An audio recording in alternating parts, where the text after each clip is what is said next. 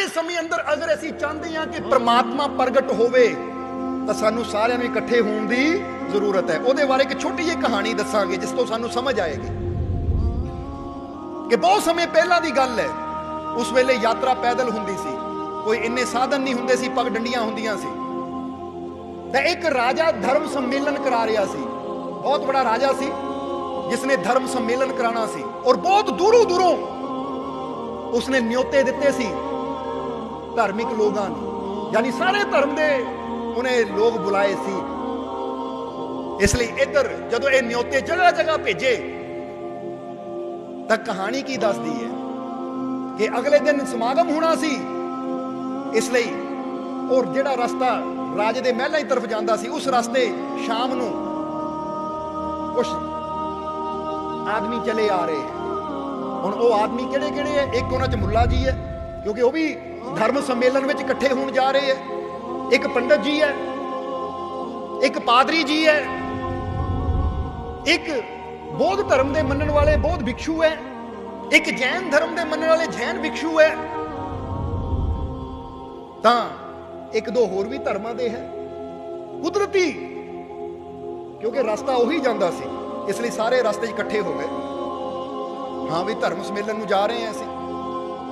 ਕਹਿੰਦੇ ਜੈਨ ਧਰਮ ਦੇ ਸਾਧੂ ਉਹ ਸੀ, ਬੌਧ ਧਰਮ ਦੇ ਸਾਧੂ ઋષਿ ਸੀ, ਉਹ ਸੀ, ਫਿਰ ਮੁੱਲਾ ਜੀ ਸੀ, ਈਸਾਈ ਧਰਮ ਦੇ ਪਾਦਰੀ ਸੀ, ਪੰਡਤ ਜੀ ਸੀ, ਸੋ ਇਹ ਪੰਜੇ ਜਣੇ ਇਕੱਠੇ ਹੋ ਕੇ ਤੁਰ ਪਏ। ਹੁਣ ਇਕੱਠੇ ਜਾ ਰਹੇ ਆ ਤਾਂ ਰਾਤ ਦਾ ਸਮਾਂ ਪਗਡੰਡੀ ਹੈ। ਅਚਾਨਕ ਮੌਸਮ ਖਰਾਬ ਹੋਇਆ, ਬੜੇ ਜ਼ੋਰਾਂ ਦੀ ਬਰਸਾਤ ਹੋ ਗਈ। ਬੜੇ ਜ਼ੋਰਾਂ ਦੀ ਜਦੋਂ ਬਰਸਾਤ ਹੋਈ, ਤਾਂ ਹੁਣ ਇਹਨਾਂ ਨੂੰ ਫਿਕਰ ਪੈ ਗਿਆ, ਬਚੀਏ ਕਿਦਾਂ? ਬਰਸਾਤ ਬਹੁਤ ਤੇਜ਼ ਹੈ। ਇੱਥੇ ਤਾਂ ਕੋਈ ਘਰ ਵੀ ਹੈ ਨਹੀਂ ਜਿੱਥੇ ਅਸੀਂ ਜਗ੍ਹਾ ਲੈ ਲਈਏ ਅਸ਼ਰੇ ਲੈ ਲਈਏ, ਜਾ ਕੇ ਬੈਠ ਜਾਈਏ, ਬਰਸਾਤ ਤੋਂ ਬਚ ਜਾਈਏ ਤਿੰਨੇ ਹੀ ਤੇਜ਼ੀ ਨਾਲ ਤੁਰੇ, ਆਪਣੇ ਪੰਜੇ ਤੇਜ਼ੀ ਨਾਲ ਤੁਰੇ, ਬੜੀ ਤੇਜ਼ੀ ਨਾਲ ਜਾ ਰਹੇ ਹੈ ਕਿ ਕਿਤੇ ਕੋਈ ਸਹਾਰਾ ਮਿਲੇ ਸਾਨੂੰ, ਜਿੱਥੋਂ ਬਰਸਾਤ ਤੋਂ ਬਚ ਸਕੀਏ। ਤੇਜ਼ੀ ਨਾਲ ਜਾਂਦੇ ਜਾਂਦੇ ਜਾਂਦੇ ਜਾਂਦੇ, ਰਸਤੇ 'ਚ ਕੀ ਦੇਖਿਆ? ਕਿ ਛੋਟਾ ਜਿਹਾ ਮੰਦਿਰ ਹੈ। ਛੋਟਾ ਜਿਹਾ ਮੰਦਿਰ ਹੈ। ਹੁਣ ਜਦੋਂ ਛੋਟਾ ਜਿਹਾ ਮੰਦਿਰ ਦੇਖਿਆ, ਤਾਂ ਇਹਨਾਂ ਨੇ ਕਿਹਾ, ਚਲੋ ਇਸ ਮੰਦਿਰ ਦੇ ਅੰਦਰ ਜਾ ਕੇ ਅਸੀਂ ਥੋੜੀ ਦੇਰ ਬੈਠ ਜਾਂਦੇ ਹਾਂ, ਜਦੋਂ ਬਰਸਾਤ ਥੋੜੀ ਘੱਟ ਹੋਈ ਜਾਂ ਰੁਕੀ ਅਸੀਂ ਫਿਰ ਚਲੇ ਜਾਵਾਂਗੇ। ਕਹਿੰਦੇ, ਪੰਜਾਂ ਨੇ ਜਦੋਂ ਮੰਦਿਰ ਦੇ ਅੰਦਰ ਜਾ ਕੇ ਦੇਖਿਆ ਤਾਂ ਛੋਟਾ ਜਿਹਾ ਮੰਦਿਰ ਸੀ, ਕਿਉਂਕਿ ਕੋਈ ਬੜਾ ਆਲੀਸ਼ਾਨ ਮੰਦਿਰ ਨਹੀਂ ਸੀ, ਛੋਟਾ ਜਿਹਾ ਮੰਦਿਰ ਸੀ। ਪਰ ਉੱਥੇ ਮੂਰਤੀ ਪਈ ਹੋਈ ਹੈ। ਇਹਨਾਂ ਨੇ ਜਦੋਂ ਅੰਦਰ ਦੇਖਿਆ ਕਿ ਅੰਦਰ ਤਾਂ ਬੈਠਣ ਨੂੰ ਵੀ ਜਗ੍ਹਾ ਹੈ ਨਹੀਂ। ਕਿਉਂਕਿ ਛੋਟਾ ਜਿਹਾ ਮੰਦਿਰ ਹੈ, ਮੂਰਤੀ ਖੜੀ ਕਰਨ ਦੀ ਜਗ੍ਹਾ, ਆਲੇ ਦੁਆਲੇ ਬਸ ਇੰਨੀ ਹੈ ਕਿ ਇੱਕ ਬੰਦਾ ਪਰਿਕਰਮਾ ਕਰ ਸਕੇ। ਹੁਣ ਇਹਨਾਂ ਨੇ ਕਿਹਾ, ਚਲੋ ਕੋਈ ਨਹੀਂ, ਅਸੀਂ ਬੈਠ ਖੜੇ ਹੋ ਕੇ, ਖੜੇ ਹੋ ਕੇ ਅਸੀਂ ਕਿਸੇ ਤਰ੍ਹਾਂ ਵਕਤ ਗੁਜ਼ਾਰਦੇ ਹਾਂ ਤਾਂ ਕਿ ਬਰਸਾਤ ਥੋੜੀ ਸ਼ਾਂਤ ਹੋ ਜਾਵੇ। ਮੂਰਤੀ ਦੇ ਆਲੇ ਦੁਆਲੇ ਪੰਜੇ ਜਣੇ ਖੜੇ ਹੋ ਗਏ। ਪੰਜੇ ਜਣੇ ਜਦੋਂ ਖੜੇ ਹੋਏ, ਬਰਸਾਤ ਬਾਹਰ ਇੰਨੇ ਜ਼ੋਰਾਂ ਦੀ ਤੂਫਾਨ, ਇੰਨੇ ਜ਼ੋਰਾਂ ਦਾ ਕਿ ਹੌਲੀ ਹੌਲੀ ਮੰਦਰ ਦੀ ਛੱਤ ਵੀ ਚੋਣ ਲੱਗ ਪਈ। ਜਦੋਂ ਮੰਦਰ ਦੀ ਛੱਤ ਵੀ ਚੋਣ ਲੱਗ ਪਈ, ਤਾਂ ਬਚਣ ਵਾਸਤੇ ਸਾਰੇ ਹੋਰ ਅੱਗੇ ਨੂੰ ਹੋ ਗਏ। ਜਿੱਦਾਂ ਬੰਦੇ ਨੂੰ ਪਤਾ ਤੇ ਛਿੱਟਾਂ ਪੈਣ ਲੱਗ ਪਈਆਂ, ਬੂੰਦਾਂ ਗਿਰਨ ਲੱਗ ਪਈਆਂ, ਅੱਗੇ ਨੂੰ ਹੋ ਜਾਵਾਂ ਤਾਂ ਕਿ ਬਚ ਜਾਵਾਂ ਮੈਂ। ਕਹਿੰਦੇ ਮੂਰਤੀ ਦੇ ਹੋਰ ਨੇੜੇ ਹੋਰ ਨੇੜੇ ਹੋਰ ਨੇੜੇ ਹੋ ਗਏ। ਬਰਸਾਤ ਤੇਜ਼ ਸੀ, ਇਸ ਲਈ ਪਾਣੀ ਜ਼ਿਆਦਾ ਚੋਣ ਲੱਗ ਗਿਆ। ਹੁਣ ਜਦੋਂ ਹੋਰ ਬਰਸਾਤ ਪਾਣੀ ਚੋਣ ਲੱਗਾ, ਇਹ ਹੋਰ ਨੇੜੇ ਹੋ ਗਏ, ਇੰਨਾ ਨੇੜੇ ਹੋ ਗਏ ਕਿ ਸਾਰਿਆਂ ਦੇ ਮੁੰਡੇ ਇੱਕ ਦੂਜੇ ਨਾਲ ਮਿਲ ਗਏ।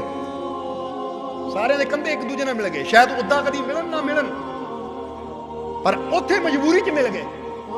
ਕਿਉਂਕਿ ਇਕੱਠੇ ਹੁੰਦੇ ਹੁੰਦੇ ਕਲੋਜ਼ ਹੁੰਦੇ ਹੁੰਦੇ ਇੰਨੇ ਕਲੋਜ਼ ਹੋ ਗਏ, ਇੱਕ ਦੂਜੇ ਨਾਲ ਮੂਰਤੀ ਗੱਬੇ ਐਨ ਮੂਰਤੀ ਦੇ ਲਾਗੇ ਚਲੇ ਗਏ, ਚੱਕਰ ਬਣ ਗਿਆ। ਇੱਕ ਦੂਜੇ ਨਾਲ ਕੰਧੇ ਇਕੱਠੇ ਹੋ ਗਏ। ਹੁਣ ਜਿੱਦੇ ਇਕੱਠੇ ਹੋਏ, ਅਚਾਨਕ ਪ੍ਰਕਾਸ਼ ਹੋਇਆ। ਜਿੱਦੇ ਹੀ ਪ੍ਰਕਾਸ਼ ਹੋਇਆ, ਤਾਂ ਸਾ ਪੰਜੇ ਹੈਰਾਨ ਹੈ ਕਿ ਕੀ, ਇਹ ਕੀ? ਤਾਂ ਕਿਸੇ ਨੇ ਕਿਹਾ, ਲੱਗਦਾ ਭਗਵਾਨ ਪ੍ਰਗਟ ਹੋਣਗੇ ਕਹਿੰਦੇ, ਨਹੀਂ, ਹੁਣ ਨਾ ਭਗਵਾਨ ਪ੍ਰਗਟ ਹੋਈ, ਇੱਥੇ ਜਗ੍ਹਾ ਹੀ ਹੈ ਨਹੀਂ। ਜਗ੍ਹਾ ਹੀ ਹੈ ਨਹੀਂ ਇੱਥੇ। ਜੇ ਭਗਵਾਨ ਆ ਗਏ, ਅਸੀਂ ਕਿੱਥੇ ਜਾਵਾਂਗੇ? ਪਰ ਕਹਿੰਦੇ, ਭਗਵਾਨ ਪ੍ਰਗਟ ਹੋ ਗਿਆ। ਕਹਾਣੀ ਹੈ, ਭਗਵਾਨ ਪ੍ਰਗਟ ਹੋ ਗਿਆ। ਪੰਜੇ ਹੀ ਹੈਰਾਨ ਹੋ ਗਏ। ਮੁੱਲਾ ਜੀ ਕਹਿੰਦੇ, ਐ ਖੁਦਾ, ਇੰਨੀਆਂ ਤੈਨੂੰ ਆਵਾਜ਼ਾਂ ਦਿੱਤੀਆਂ, ਅਜਾਨ ਦੇ ਅੰਦਰ, ਨਮਾਜ਼ਾਂ ਅੰਦਰ, ਇੰਨਾ ਤੈਨੂੰ ਬੁਲਾਇਆ, ਉਦੋਂ ਆਇਆ ਨਹੀਂ? ਅੱਜ ਕਿਉਂ ਆਇਆ? ਅੱਜ ਕਿਉਂ ਆਇਆ? ਪੰਡਤ ਜੀ ਨੇ ਵੀ ਕਿਹਾ, ਇੰਨੇ ਵੇਦਾਂ ਦੇ ਮੰਤਰ ਪੜ੍ਹੇ, ਇੰਨੀ ਪੂਜਾ ਪਾਠ ਕੀਤੀ, ਉਦੋਂ ਦਰਸ਼ਨ ਨਹੀਂ ਦਿੱਤੇ। ਅੱਜ ਅੱਜ ਤਾਂ ਮੈਂ ਯਾਦ ਵੀ ਨਹੀਂ ਕੀਤਾ। ਅੱਜ ਤਾਂ ਮੈਂ ਬੁਲਾਇਆ ਵੀ ਨਹੀਂ ਕਿ ਭਗਵਾਨ ਆ। ਅੱਜ ਤੂੰ ਆਪਣੀ ਮਰਜ਼ੀ ਨਾਲ ਹੀ ਆ ਗਿਆ। ਇਸੇ ਤਰ੍ਹਾਂ ਬੋਧ ਵਿਕਸ਼ੂ ਨੇ ਵੀ ਕਿਹਾ, ਜੈਨ ਵਿਕਸ਼ੂ ਨੇ ਵੀ ਕਿਹਾ। ਚਰਚ ਦੇ ਪਾਦਰੀ ਨੇ ਵੀ ਕਿਹਾ ਕਿ ਗੋਡ ਅੱਜ ਪ੍ਰਗਟ ਹੋ ਗਿਆ। ਅੱਜ ਤਾਂ ਮੈਂ ਯਾਦ ਵੀ ਨਹੀਂ ਕੀਤਾ। ਅੱਜ ਤਾਂ ਅਸੀਂ ਬਚਣ ਵਾਸਤੇ, ਇਹ ਬਾਰਿਸ਼ ਤੋਂ ਬਚਣ ਵਾਸਤੇ ਮੰਦਿਰ 'ਚ ਇਕੱਠੇ ਹੋਏ ਆ ਅੱਜ ਤੈਨੂੰ ਯਾਦ ਨਹੀਂ ਕੀਤਾ, ਅੱਜ ਤੂੰ ਪ੍ਰਗਟ ਹੋ ਗਿਆ।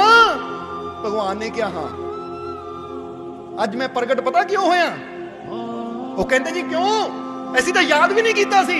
ਫਿਰ ਕਿਉਂ ਪ੍ਰਗਟ ਹੋਏ? ਭਗਵਾਨ ਨੇ ਕਿਹਾ, ਅੱਜ ਮੈਂ ਪ੍ਰਗਟ ਇਸ ਲਈ ਹੋਇਆ, ਯਾਦ ਕਰਦੇ ਚਾਹੇ ਨਾ ਕਰਦੇ। ਮੈਨੂੰ ਇਹਦੇ ਨਾਲ ਮਤਲਬ ਨਹੀਂ ਸੀ, ਪਰ ਅੱਜ ਤੁਸੀਂ ਪੰਜੇ ਹੀ ਇੱਕ ਜਗ੍ਹਾ ਇਕੱਠੇ ਹੋ ਗਏ। ਕੰਧੇ ਨਾਲ ਕੰਧਾ ਮਿਲਾ ਲਿਆ, ਤਾਂ ਮੈਨੂੰ ਆਣਾ ਪਿਆ। ਕਿਉਂਕਿ ਅੱਜ ਤੁਸੀਂ ਇਕੱਠੇ ਹੋਏ, ਔਰ ਜਿੱਥੇ ਇਨਸਾਨੀਅਤ ਇਕੱਠੀ ਹੋ ਜਾਂਦੀ ਹੈ, ਮੈਂ ਉੱਥੇ ਹੀ ਪ੍ਰਗਟ ਹੁੰਦਾ ਆ ਫਿਰ ਚਾਹੇ ਕੋਈ ਮੈਨੂੰ ਯਾਦ ਕਰੇ ਜਾਂ ਨਾ ਕਰੇ, ਕੋਈ ਬੁਲਾਵੇ ਜਾਂ ਨਾ ਬੁਲਾਵੇ, ਕਿਉਂਕਿ ਅੱਜ ਤੋਂ ਪਹਿਲਾਂ ਤਾਂ ਤੁਸੀਂ ਇੱਕ ਦੂਜੇ ਦੀ ਨਿੰਦਿਆ ਹੀ ਕਰੀ ਜਾਂਦੇ ਸੀ। ਅੱਜ ਤੋਂ ਪਹਿਲਾਂ ਤਾਂ ਤੁਸੀਂ ਇੱਕ ਦੂਜੇ ਨੂੰ ਨਿੰਦੀ ਜਾਂਦੇ ਸੀ। ਉਹ ਇੱਕ ਦੀ ਨਿੰਦਿਆ, ਉਹ ਦੂਜੇ ਦੀ ਨਿੰਦਿਆ। ਆਹ ਧਰਮ ਇਦਾਂ ਉਹ ਧਰਮ ਇਦਾਂ ਆਹ ਆਦਮੀ ਇਦਾਂ ਉਹ ਆਦਮੀ ਇਦਾਂ ਜਦੋਂ ਤੱਕ ਦੂਜੇ ਦੀ ਨਿੰਦਿਆ ਅਸੀਂ ਕਰੀ ਜਾਵਾਂਗੇ, ਤਾਂ ਜਿੰਨੀ ਮਰਜ਼ੀ ਪੂਜਾ ਕਰ ਲਓ, ਪਾਠ ਕਰ ਲਓ, ਭਗਤੀ ਕਰ ਲਓ, ਉਹ ਸਾਰੀ ਵਿਅਰਥ ਹੋ ਜਾਂਦੀ ਹੈ।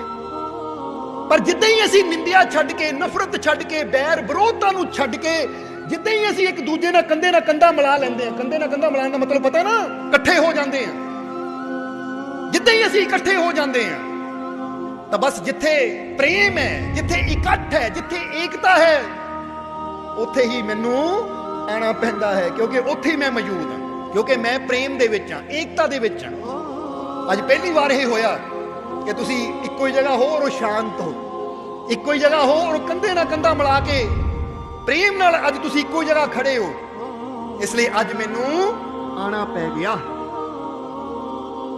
ਹੁਣ ਇਸ ਕਹਾਣੀ ਤੋਂ ਕੀ ਸਮਝ ਆਂਦਾ ਹੈ ਕਿ ਅਸੀਂ ਦਿਲ 'ਚ ਨਫ਼ਰਤ ਲੈ ਕੇ, ਦਿਲ 'ਚ ਕਿਸੇ ਦਾ ਵੈਰ ਵਿਰੋਧ ਲੈ ਕੇ ਅਸੀਂ ਜਿੰਨੀ ਮਰਜ਼ੀ ਭਗਤੀ ਕਰ ਲਈਏ, ਜਿੰਨੀ ਮਰਜ਼ੀ ਪੂਜਾ ਕਰ ਲਈਏ, ਜਿੰਨੇ ਮਰਜ਼ੀ ਪਾਠ ਕਰ ਲਈਏ, ਜਿੰਨਾ ਮਰਜ਼ੀ ਹੋਰ ਕੋਈ ਉਪਾਏ ਕਰ ਲਈਏ, ਔਰ ਸੋਚੀਏ ਸਾਨੂੰ ਪ੍ਰਮਾਤਮਾ ਮਿਲ ਜਾਏਗਾ, ਉਹਦੀ ਕਿਰਪਾ ਮਿਲ ਜਾਏਗੀ।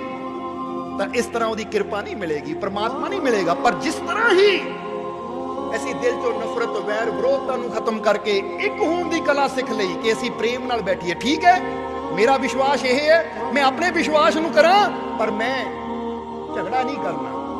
ਜੇ ਮੈਨੂੰ ਅੱਲਾ ਕਹਿਣਾ ਚੰਗਾ ਲੱਗਦਾ, ਮੈਂ ਅੱਲਾ ਕਮਾਂ ਜੇ ਮੈਨੂੰ ਵਾਹਿਗੁਰੂ ਕਹਿਣਾ ਚੰਗਾ ਲੱਗਦਾ, ਮੈਂ ਵਾਹਿਗੁਰੂ ਕਮਾਂ ਜੇ ਮੈਨੂੰ ਈਸ਼ਵਰ ਕਹਿਣਾ ਚੰਗਾ ਲੱਗਦਾ, ਈਸ਼ਵਰ ਕਮਾਂ ਪਰ ਮੈਂ ਆਪਣੇ ਜੀਵਨ ਨੂੰ ਐਸਾ ਬਣਾਵਾਂ ਕਿ ਮੈਂ ਆਪਣੇ ਜੀਵਨ 'ਚ ਕਿਸੇ ਦਾ ਦਿਲ ਨਾ ਦੁਖਾਵਾਂ, ਕਿਸੇ ਨੂੰ ਬੁਰਾ ਨਾ ਕਮਾਂ ਜਿੱਦਾਂ ਇੱਕ ਕਿਆਰੀ 'ਚ ਗੁਲਾਬ ਲਾ ਦਿਓ, ਇੱਕ ਕਿਆਰੀ 'ਚ ਉਸੇ ਕਿਆਰੀ 'ਚ ਚੰਪਾ ਲਗਾ ਦਿਓ, ਉਸੇ ਕਿਆਰੀ 'ਚ ਚਮੇਲੀ ਲਗਾ ਦਿਓ, ਉਸੇ ਕਿਆਰੀ 'ਚ ਹੋਰ ਫੁੱਲ ਲਾ ਦਿਓ, ਤਾਂ ਉਹਨਾਂ ਨੇ ਆਪਣੀ ਆਪਣੀ ਜਗ੍ਹਾ ਮਹਿਕ ਦੇਣੀ ਹੈ। ਕਿਸੇ ਨੇ ਇਹ ਥੋੜੀ ਕਹਿਣਾ ਹੈ ਗੁਲਾਬ ਨੇ ਕਿ ਮੈਂ ਗੁਲਾਬ ਆ ਤਾਂ ਤੂੰ ਵੀ ਗੁਲਾਬ ਬਣ। ਮੈਂ ਗੁਲਾਬੀ ਆ ਮੇਰੀ ਮੈਂ ਕਿਦਾਂ ਦੀ ਤੂੰ ਵੀ ਉਦਾਂ ਦੀ ਬਣਾ। ਨਹੀਂ ਗੁਲਾਬ ਆਪਣੀ ਮਸਤੀ 'ਚ ਮਸਤ ਹੈ। ਉਹ ਕਹਿੰਦਾ, ਮੈਂ ਗੁਲਾਬ, ਮੈਂ ਗੁਲਾਬੀ, ਮੈਂ ਆਪਣੀ ਖੁਸ਼ਬੂ ਵੰਡਣੀ ਹੈ। ਇਹ ਚੰਪਾ ਚਮੇਲੀ, ਇਹ ਆਪਣਾ ਰੰਗਤ ਹੀ ਹੈ, ਇਹਨਾਂ ਦੀ ਆਪਣੀ ਮਹਿਕ ਵੰਡਣੀ ਹੈ। ਜਦ ਫੁੱਲ ਇੱਕ ਕਿਆਰੀ 'ਚ ਖਿਲ ਕੇ ਆਪਣੀ ਮਹਿਕ ਬਣ ਸਕਦੇ ਹੈ, ਤਾਂ ਕੀ ਅਸੀਂ ਇਹ ਦੁਨੀਆ ਨੂੰ ਐਸੀ ਕਿਆਰੀ ਨਹੀਂ ਬਣਾ ਸਕਦੇ ਕਿ ਅਸੀਂ ਸਾਰੇ ਹੀ ਇੱਥੇ ਫੁੱਲਾਂ ਦੀ ਤਰ੍ਹਾਂ ਖਿਲੀਏ ਔਰ ਆਪਣੇ ਪ੍ਰੇਮ ਦੀ ਮਹਿਕ, ਆਪਣੀ ਖੁਸ਼ੀ ਦੀ ਮਹਿਕ ਸਭ ਤੱਕ ਪਹੁੰਚਾਈਏ। ਇਹ ਸੰਸਾਰ ਨੂੰ ਖੁਸ਼ਨੁਮਾ ਬਣਾ ਦਈਏ। ਇਹ ਸਾਨੂੰ ਵੀ ਕੋਸ਼ਿਸ਼ ਕਰਨੀ ਚਾਹੀਦੀ ਹੈ। ਕਿਉਂਕਿ ਇੱਕ ਹੋਵਾਂਗੇ, ਇਕੱਠੇ ਹੋਵਾਂਗੇ, ਤਾਂ ਫੇਰ ਹੀ ਪਰਮਾਤਮਾ ਪ੍ਰਗਟ ਹੋਏਗਾ। ਇਸ ਲਈ ਅਸੀਂ ਕਈ ਵਾਰ ਇਹਦਾ ਜ਼ਿਕਰ ਕੀਤਾ ਹੈ ਕਿ ਇੱਕ ਰੈਸਟੋਰੈਂਟ 'ਚ ਪਰਿਵਾਰ ਜਾਂਦਾ ਹੈ ਨਾ, ਇੱਕ ਪਰਿਵਾਰ ਆਰਡਰ ਕਰਦਾ, ਮੈਨੂੰ ਦਾਲ ਲਿਆ ਦਿਓ, ਦੂਜਾ ਪਰਿਵਾਰ ਆਰਡਰ ਕਰਦਾ, ਮੈਨੂੰ ਸਬਜ਼ੀ ਲਿਆ ਦਿਓ, ਤੀਜਾ ਕਹਿੰਦਾ, ਮੈਨੂੰ ਸਾਗ ਲਿਆ ਦਿਓ, ਤਾਂ ਜੇ ਹੁਣ ਉੱਥੇ ਝਗੜਾ ਹੀ ਹੋਈ ਜਾਵੇ, ਮੈਂ ਦਾਲ ਖਾਣੀ, ਤੂੰ ਵੀ ਦਾਲ ਖਾ। ਮੈਂ ਸਾਗ ਖਾਣਾ, ਤੂੰ ਵੀ ਸਾਗ ਖਾ। ਤਾਂ ਫਿਰ ਇਹ ਸਮਝਦਾਰੀ ਨਹੀਂ ਹੈ। ਠੀਕ ਹੈ, ਤੈਨੂੰ ਦਾਲ ਪਸੰਦ ਹੈ, ਤੂੰ ਦਾਲ ਖਾ, ਮੈਨੂੰ ਸਾਗ ਪਸੰਦ ਹੈ, ਮੈਂ ਸਾਗ ਖਾਣਾ ਹੈ। ਤੈਨੂੰ ਸਬਜ਼ੀ ਪਸੰਦ ਹੈ, ਤੂੰ ਸਬਜ਼ੀ ਖਾ। ਗੱਲ ਇਹ ਨਹੀਂ ਅਸੀਂ ਖਾ ਕੀ ਰਹੇ ਆ ਗੱਲ ਇਹ ਹੈ ਕਿ ਅਸੀਂ ਸਾਰੇ ਪਿਆਰ ਨਾਲ ਬੈਠੀਏ। ਸਾਰੇ ਖੁਸ਼ੀ ਨਾਲ ਬੈਠੀਏ। ਇਹ ਮਾਹੌਲ ਨੂੰ ਇਦਾਂ ਦਾ ਬਣਾਈਏ, ਸ਼ਾਂਤੀ ਮੇ, ਖੁਸ਼ੀ ਮੇ, ਪ੍ਰੇਮ ਮੇ। ਕਿ ਇਹ ਯਾਦਗਾਰ ਬਣ ਜਾਵੇ ਕਿ ਅਸੀਂ ਇੱਕ ਟੇਬਲ ਤੇ ਇਕੱਠੇ ਹੋਏ ਸੀ ਤੇ ਅਸੀਂ ਸਾਰਿਆਂ ਨੇ ਪ੍ਰੇਮ ਨਾਲ ਭੋਜਨ ਕੀਤਾ, ਇਹਨਾਂ ਪਲਾਂ ਦਾ ਬੜਾ ਆਨੰਦ ਲਿਆ। ਅਸੀਂ ਆਪਣਾ ਜੀਵਨ ਵੀ ਐਸਾ ਬਣਾ ਦਈਏ ਕਿ ਅਸੀਂ ਇੱਕ ਸੰਸਾਰ 'ਚ ਇਕੱਠੇ ਹੋਏ ਆ ਤੇ ਅਸੀਂ ਆਪਣਾ ਜੀਵਨ ਐਸਾ ਬਣਾ ਦਈਏ ਕਿ ਇੱਕ ਸੰਸਾਰ 'ਚ ਇਕੱਠੇ ਹੋਏ ਆ ਤੇ ਅਸੀਂ ਇਕੱਠੇ ਹੋ ਕੇ ਬੜਾ ਆਨੰਦ ਲਿਆ, ਬੜਾ ਪਿਆਰ ਨਾਲ ਸਮਾਂ ਗੁਜ਼ਾਰਿਆ, ਬੜਾ ਖੁਸ਼ੀ ਦੇ ਨਾਲ ਸਮਾਂ ਗੁਜ਼ਾਰਿਆ। ਸਾਡੇ ਦਿਲ 'ਚ ਕਿਸੇ ਵਾਸਤੇ ਵੀ ਕੋਈ ਵੈਰ ਵਿਰੋਧ ਨਹੀਂ ਸੀ। ਇਸ ਲਈ ਅੱਜ ਦੇ ਸਮੇਂ ਅੰਦਰ ਅਗਰ ਅਸੀਂ ਚਾਹੁੰਦੇ ਹਾਂ ਕਿ ਪ੍ਰਮਾਤਮਾ ਪ੍ਰਗਟ ਹੋਵੇ, ਤਾਂ ਸਾਨੂੰ ਸਾਰਿਆਂ ਨੂੰ ਇਕੱਠੇ ਹੋਣ ਦੀ ਜ਼ਰੂਰਤ ਹੈ।